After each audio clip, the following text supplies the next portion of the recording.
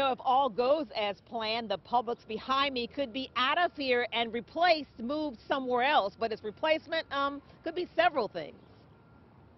Yeah, I wouldn't mind expanding. Expansion's always good. I mean, there's a lot of empty lots that could definitely use some work. That's got to be what the folks who are responsible for giving us City Place would like to hear. The national real estate company called The Related plans to expand the City Place project, and that means more of everything. Officials say they want to add 450,000 square feet of new store space and residences, and the word is already spreading. The only thing I have to say about that is there is a gigantic mango tree in the vacant lot across from the Publix.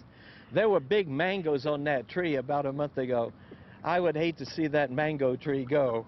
They want to build 400 apartments, 800 parking spaces, 50,000 square feet of new retail space.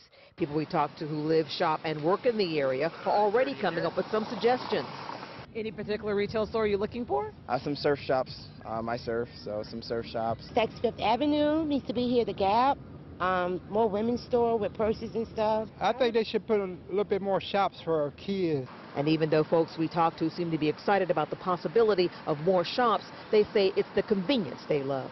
So this is one of the few places in the United States that I've ever found where it's really possible to live and do a lot of your your daily activities on foot. And the expansion project could link City Place with Clematis Street and negotiations to bring a top national retailer underway. No um, name mentioned just yet. Reporting live in West Palm Beach, Angela Rozier, WPBF 25 News.